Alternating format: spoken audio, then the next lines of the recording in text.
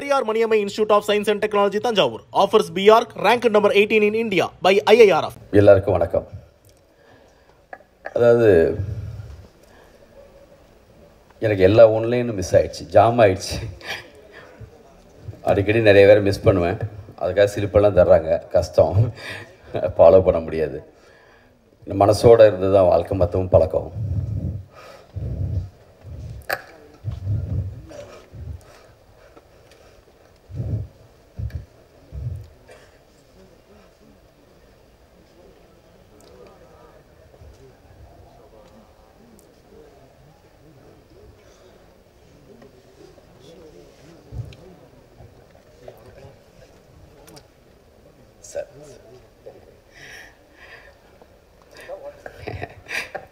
அதாவது கண்ணீர் வந்து ரெண்டு கண் இருக்கிறதுனால ரெண்டே கண்ணில் வருது. உடம்பு மொத்தம் கண் இருந்தால் அப்படி வரும்.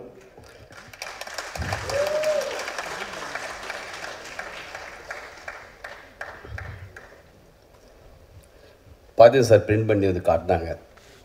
எப்பயுமே வித்தியாசம்தான் அவங்க.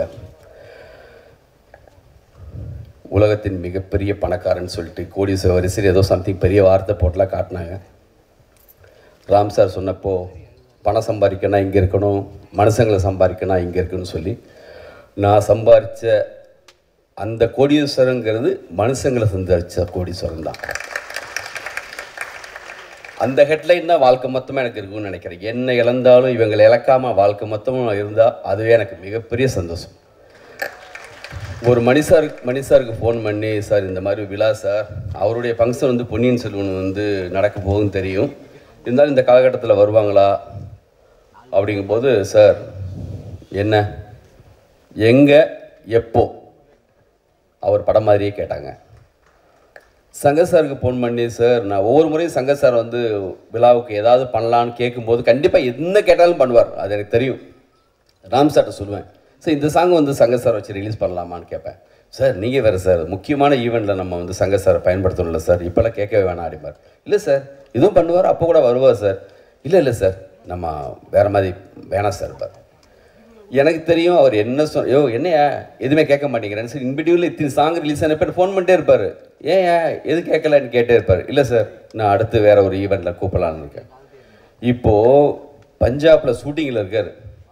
அந்த ஷூட்டிங்கில் இருந்து எனக்காக வந்திருக்கார்.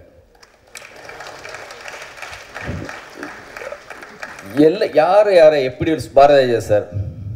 யார் யார் வா வாசல்லையும் போய் நானும் பிருந்தா சார் எல்லாம் போய் வாய்ப்பு கேட்கறதுக்காக நின்னமோ அவங்க எல்லாம் எனக்காக இப்போ வந்து நிற்கிறாங்கங்கிறப்போ அதை விட மிகப்பெரிய வெற்றி வேற என்ன இருக்கு?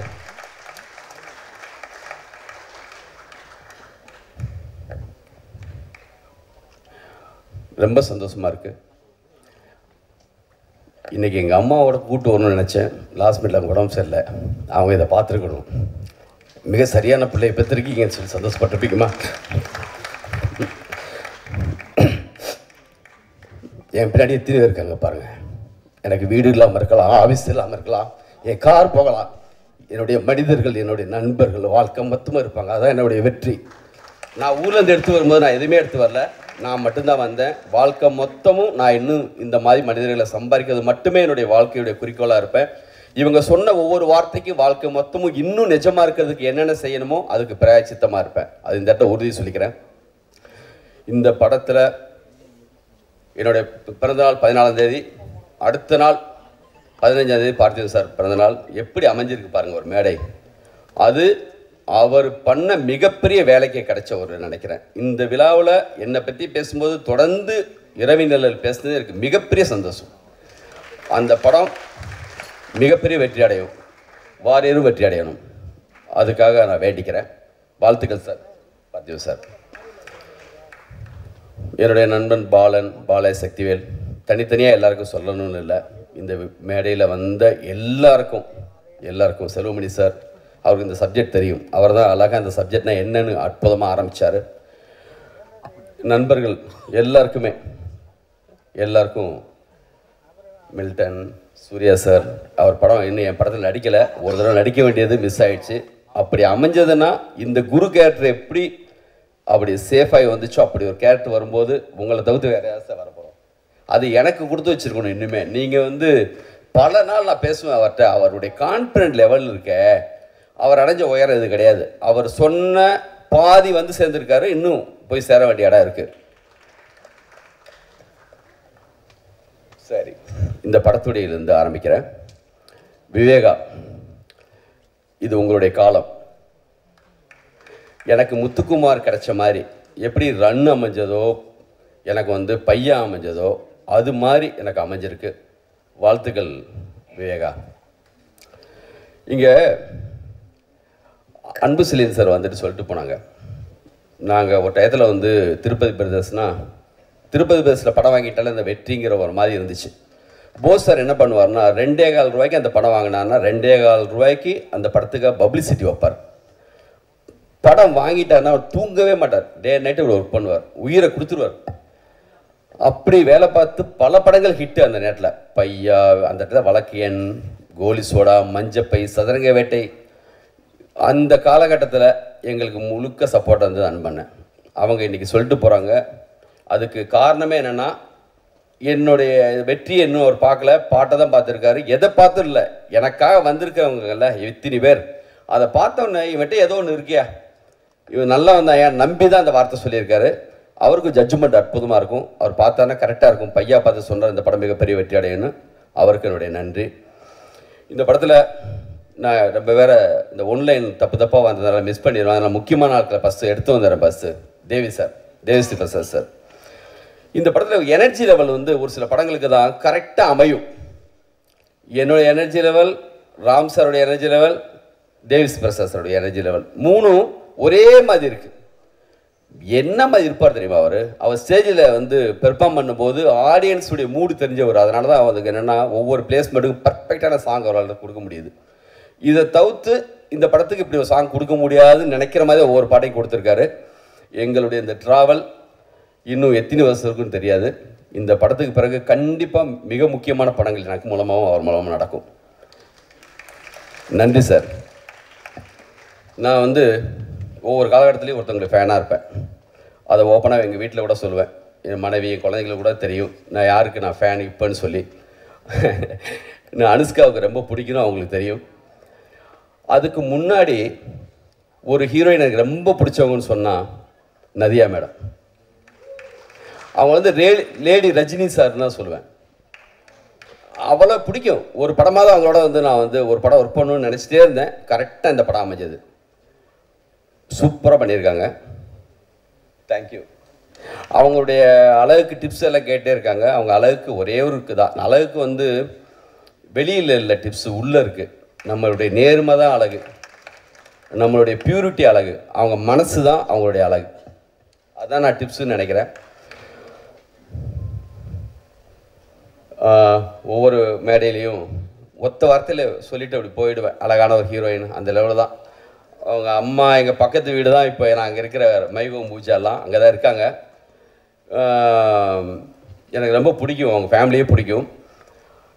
என்ன கீர்த்தி படம்? ஒரு படம் கூட நான் பார்க்கல. இந்த படம் நான் புக் பண்ணும்போது கீர்த்தி கீர்த்தி செட்டியா ஆஹ், ரஷ்மிகாவா? ரெண்டு பேரில் யாரை ஃபிக்ஸ் பண்ணலாம் அப்படின்னு ஆஃபீஸ்குள்ளே நுழையும் போது சார் கடைசியாக ராம் சார்ட்டோட வார்த்தை கேட்டு பார்த்துருவோம். சொல்லிட்டு கேட்குறேன் சார் உங்கள் சாய்ஸ் சார். நீங்கள் முடிவு பண்ணிட்டீங்களே அந்த ஏரியா பக்கம் நான் வரல சார்ன்ட்டார் சார்னு யாரா அப்படின்னு நினைக்கிறப்போ எனக்கு இந்த பொண்ணை வந்து போட்டால் தான் பார்த்தேன். எனக்கு என்னமோ மீரா ஜாஸ்மின் மாதிரி வருவாங்களோன்னு தோணுச்சு. யாரோ வந்து கிட்டான ரஷ்மிகா அவங்கள விட அவங்கள விட எனக்கு ரொம்ப பிடிக்கும். அடுத்த படத்துக்கு பத்து லட்சம் அட்வான்ஸே கொடுத்தாச்சு. கதையே சொல்லணும் அந்த பொண்ணுக்கு. ஆனால் இந்த ஹீரோயின் என்னமோ தெரில எனக்கு வந்து கூப்பிடுங்க இந்த பொண்ணையை புக் புக் பண்ணிடலாம் சொல்லிட்டு அவங்க அம்மாவும் பொண்ணும் வீட்டுக்கு வந்தாங்க. கதை சொன்னேன். அவங்க அம்மா வந்து நல்லா தமிழ் பேசுனாங்க. நீங்கள் பாம்பேன்னு சொல்கிறீங்க மங்களூர் சொல்கிறீங்க எப்படி தமிழ் கரெக்டாக பேசுறீங்க சொன்னோன்னே ரோஜாவில் அந்த வில்லுன்னு சொல்கிற மாதிரி ஒரு பதில் சொன்னாங்க. நான் கோயம்புத்தூர் கொஞ்ச நாள் படித்தேன்னு கேட்க நல்லா இருக்கேன் சொல்லிட்டு அந்த பொண்ணு தலையாட்டிகிட்டே இருந்துச்சு. அதுக்கும் கொஞ்சம் புரியும்னு நினைக்கிறேன். சொல்லிட்டு டான்ஸ் ஆட தெரியுமான்னு கேட்டேன். பெருசாக தலையாட்டினாங்க. தலையாட் இந்த மாதிரி ஒரு கன்ஃபியூஸ் இருந்துச்சு. நான் பயந்துட்டேன். நடந்த படத்தில் வந்து இந்த இந்த மாதிரி ஸ்டைல் ஆஃப் சாங்கெல்லாம் வரப்போகுது. நம்ம தைரியமாக இந்த பொண்ணை புக் பண்ணுறமேன்னு ஆனால் இன்னைக்கு அவ்வளவு சூப்பராக இந்த படத்துக்காகவே ப்ரிப்பேர் ஆகி அவ்வளோ அழகாக எவ்வளோ அழகாக தமிழ் பேசுகிறாங்க பாருங்கள் முத நாளோ ரெண்டாவது நாளோ நான் ஏதோ ஒரு வார்த்தை சம்திங் கொஞ்சம் கோவமாக பார்த்தனான்னு தெரில அவ்வளோதான் ஃபஸ்ட் டே ஷூட்டிங்லேயே ரெண்டாவது நாள் ஷூட்டிங்லேயோ அப்படி நடந்து போய் நின்னாங்க. ஓ கொஞ்சம் ப்ரிப்பேர் ஆக போகிறதுக்கு சொல்லிட்டு எல்லாமே வெயிட்டிங் நானும் ராம் சார் ரதியா மேடம்லாம் கூட கொஞ்சம் நேரம் நின்றுட்டு இருந்தாங்க. எனக்கு தோணிடுச்சு. ஆஹா இது வந்து வேற எதோடான்னு சொல்லி. குனிஞ்சு அப்படி பார்த்துட்டே இருக்காங்க. ரெண்டு சொட்டு கண்ணீர் வருது. நான் ஒன்றுமே சொல்ல அப்போ அப்போ வந்து பத்திரிக்கை மொத்தமும் எதை நான் திட்டிட்டேன்லாம் எழுதிட்டாங்க. ஆனால் பயங்கர ஃப்ரெண்ட் ஆகிட்டாங்க இப்போ அவங்க ஃபேமிலி மொத்தமும் என்ன கேட்காம உண்மையில் சொல்லணும்னா அவங்க எந்த ப்ராஜெக்ட் இங்கே ஃபிக்ஸ் பண்ணாலும் நான் தான் அவங்களுக்கு இப்போது நான் சொல்லி தான் படங்கள்லாம் கம்ப்ளீட் ஆகுது. அடுத்த படம் ப்ரொடியூசர்கிட்ட என்ன சம்பளம் வாங்கின வரைக்கும் நான் சொல்லிட்டேன். அதில் எனக்கு ஒரு கமிஷன் இருக்குது என் பேங்கில் பேரில் போட்டு வச்சுருக்காங்க. ஆதி சார் கதை சொன்னேன். நான் ஒரு உருவம் நினச்சிருந்தேன். ஆனால் நினச்சதை தாண்டி ப்ரிப்பேர் வந்துட்டு அந்த அவர் கண் புதுசாக ஒன்று வச்சுக்கிட்டது. அந்த பல்லு வந்து ஒன்று ரெடி பண்ணி வந்து உட்காந்து அந்த மூஞ்சிலெல்லாம் லேசாக ஒரு இது பண்ணி அற்புதம் பண்ணிட்டார். இன்றைக்கி தேவி சார் அவருக்கு பண்ண மியூசிக்கெல்லாம் வந்து என்னென்னா அப்படி இருக்குது என்னுடைய இதுவரைக்கும் பண்ண படங்கள்லேயே தி பெஸ்ட் வில்லனாக நான் வந்து அவரை ஃபீல் பண்ணுறேன் நிச்சயமாக இப்படிப்பட்ட ஏதோ ஒரு மிகப்பெரிய விழாவில் நம்மளுக்கு ஒரு சத்தம் கேட்கும். The most powerful villain the best award அது சவுண்டு பத்து தடவை கேட்கும்னு தோணுது. இந்த வருஷத்தில் அடுத்த வருஷத்தில். அந்தளவுக்கு பவர்ஃபுல்லாக பண்ணியிருக்காரு. வாழ்த்துக்கள் சார் ராம் ராம் சார் அதுக்கு முன்னாடி ப்ரொடியூசர் ஒரு வார்த்தை சொல்லிடுறேன். இந்த படத்துக்கு என்ன கேட்டாலும் சரிதான். எனக்கு ஒரு பெரிய குறிப்பு என்னென்னா ஒரு கலைஞனாக நான் வந்து ஒரு தகுதியான ஆளுங்க நம்புறதுக்கு கடவுள் வந்து என்னென்னா எனக்கு எந்த படத்துலையுமே எது கேட்டு யாரும் கொடுக்காம இருந்ததில்லை. அப்படி தான் எனக்கு இது வரைக்கும் ப்ரொடியூசர்ஸ் அமைஞ்சிருக்காங்க அது என்னுடைய பெரிய குடிப்பனை இந்த படத்துக்கும் அப்படி தான் சீனிவாச டூரி சார் தொடங்கும்போது ஒரு நாற்பத்தி எட்டு ஐம்பதா அறுபதா அப்படி இருந்த கணக்கெல்லாம் தாண்டி வேறு கணக்குக்கு போயிடுச்சு. அது வந்து அவருடைய பெரிய நம்பிக்கை. சார் நீங்கள் நம்பது வீது போகாது. இந்த படம் மிகப்பெரிய வெற்றி அடையும்னு எல்லாரும் சொல்கிறாங்க ஏன்னா நான் கொஞ்சம் அதை பற்றி பேசக்கூடாது. இந்த படம் வெற்றி அடையணும்னு நான் வந்து மனசோட வேலை பார்த்துருக்கேன். அது மட்டும்தான் எனக்கு தெரியும். நான் எப்பயுமே இன்னராக கனெக்ட் ஆகி ஒர்க் மட்டும்தான் நம்புகிறேன் அந்த வேலை இதில் நடந்திருக்கு. மற்றவங்க பார்த்து சொன்னது உங்களுக்கு தெரியும். அது மூலமாக நீங்கள் நம்பிக்கையாக இருங்க சார் வாழ்த்துக்கள் sir Ram sir Ram sir வந்து டிஎஸ்பி சார் பற்றி பேசுகிறல பேசுகிறேன் சார் ராம் சார் எத்தனை பேர் எவ்வளோ பெரிய லெஜெண்ட்ஸ் இங்கே உட்காந்துட்டு வந்து அந்த பேரை உச்சரிக்கும் போது சங்க சார்லேருந்து ஆரம்பித்து பாரதிய சார்லேருந்து எல்லாரும் எல்லாரும் வாயிலேருந்து ராம் ராம் ராம்னு வந்துச்சு இல்லையா? சார் பெருசாக கேட்கும் இந்த படத்துக்கு பிறகு. நம்புங்க. உங்ககிட்ட அந்த தகுதி எப்படி இருக்குன்னா அந்த டைமிங் சென்ஸ் சின்ன சின்ன விஷயங்கள். அவர் வந்து பயங்கர சார் அவர்கிட்ட ஒரு மாதவன் இருக்கார் ஒரு விக்ரம் இருக்காங்க. நான் ஒர்க் பண்ண படங்கள் வந்து ஒரு மம்முட்டி இருக்காங்க. அப்புறம் ஒரு சில இடங்கள் வந்து சூர்யா சார் இருக்காங்க. பயங்கர சார்பு. அதை தான ஒரு ஹீரோவுக்கான எல்லா தகுதியும் உள்ள ஒரு டான்ஸு அவருடைய அந்த நுணுக்கம். பாலசித்தியல் சார் சொல்லுவார் பெர்ஃபார்மன்ஸுங்கிறது நோட்டாக கொடுக்குறது இல்லடா சில்லறை மாற்றி தொள்ளாயிரத்தி தொண்ணூற்றி ஒம்பது ரூபா அஞ்சு பைசான்னு கொடுக்கணும் பாரு அது கொடுக்கக்கூடிய தகுதி அவருக்கு இருக்குது மிகப்பெரிய ஹீரோவாக இங்கே வர்றதுக்கான எல்லா தகுதியும் அவருக்கு இருக்குது என்னுடைய படம் சண்டைக்கோழி பையா அந்த மாதிரியான வரிசையில் அவருக்கும் இந்த படம் வந்து மிகப்பெரிய படமாக அமையணும்னு நம்புகிறேன் இங்கே நானும் பல வருஷமாக தெலுங்கில் ஒரு சரியான படம் பண்ணணும் ஸ்டேட் ஃபிலிம் பண்ணணும். மகேஷ் பாபு சாரோட அல்லு அர்ஜுன் சாரோட யாரோட மீட்டிங் போச்சு? எதுவுமே அமையலை. இந்த படம் அமைஞ்சிருக்கு. இது வந்து எனக்கு மிக முக்கியமான படம்.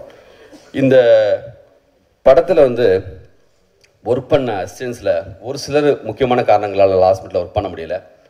என்னுடைய கனக சபாபதி ஃபஸ்ட்டு படத்துலேருந்து ட்ராவல் பண்ணுற கனக சபாபதி என்னோடய டைலாக் ரைட்டர் பிருந்தா சாரதி அவெல்லாம் எனக்கு மாபெரும் சப்போர்ட் எனக்கு வந்து வாழ்க்கை மொத்தமும் பிருந்தா சாரதி வந்து வாழ்க்கைக்கே டைலாக் எழுதி கொடுக்குறவர்.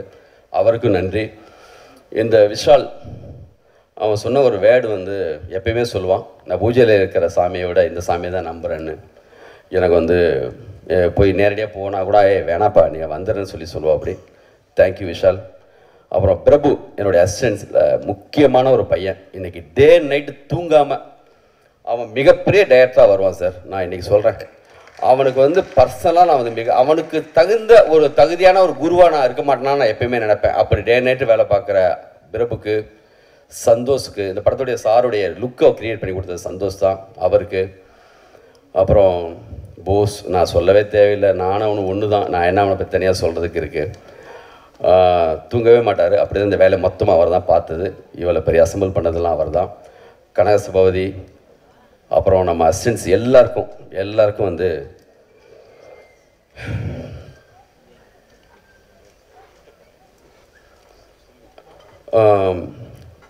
சிம்பு சார் இந்த பாட்டில் பாடினார். அவருக்கு சூர்யா சாருக்கு சிவகார்த்திகேயன் சாருக்கு எல்லாருக்கும். இங்கே வரல. இருந்தாலுமே இந்த படத்தை அற்புதமாக வந்து அவர் ஃபோன் பண்ணி வேறு சொல்கிறாரு நான் டிஏயில் இருக்கேன். என் பேரை மூணு தடவையாக சொல்லணும்னு சொல்லி. நான் மூணு தடவை சொல்கிறதில்ல சார். இந்த படத்துக்கு பிறகு பாருங்கள் நானே கேட்டாலும் உங்களுக்கு டேட் இருக்காது. அவருக்கு பெரிய கௌதம் மேனன் மேலே பெரிய லவ் கௌதம் மேனன் வருவாரா? அவர் பார்த்தாரெல்லாம் கேட்டே இருப்பார். என்னமோ தெரியல கௌதம் இன்றைக்கி வரல. சுஜித் வாசுதேவ் அவர்களுடைய வாழ்த்துக்கள் ஆர்ட் டைரக்டருக்கு என்னுடைய வாழ்த்துக்கள். சொல்லிட்டேன். எல்லாருக்கும். தேங்க்யூ இதுக்கு மேலே யாரையா விட்டுருந்தேன்னா ஆதித்யா மியூசிக் அவங்களுக்கு. உதயநிதி பிரதர் அவங்க தான் இந்த புல்லட்டை ஸ்டார்ட் பண்ணி வச்சாங்க. இன்றைக்கி வந்து அவ்வளோ பெரிய ஹிட் ஆச்சு. நீங்கள் ஒரு வார்த்தை சொன்னீங்க. நீங்கள் புல்லட்டை தொட்ட மாதிரி நீங்கள் இந்த படத்தையும் தொட்டாலும் அவ்வளோ பெரிய உயரத்துக்கு போகும்னு நான் நினைக்கிறேன். இந்த மிஸ்ஸு கால் எத்தின்னு இருக்குன்னு எனக்கு தெரியாது.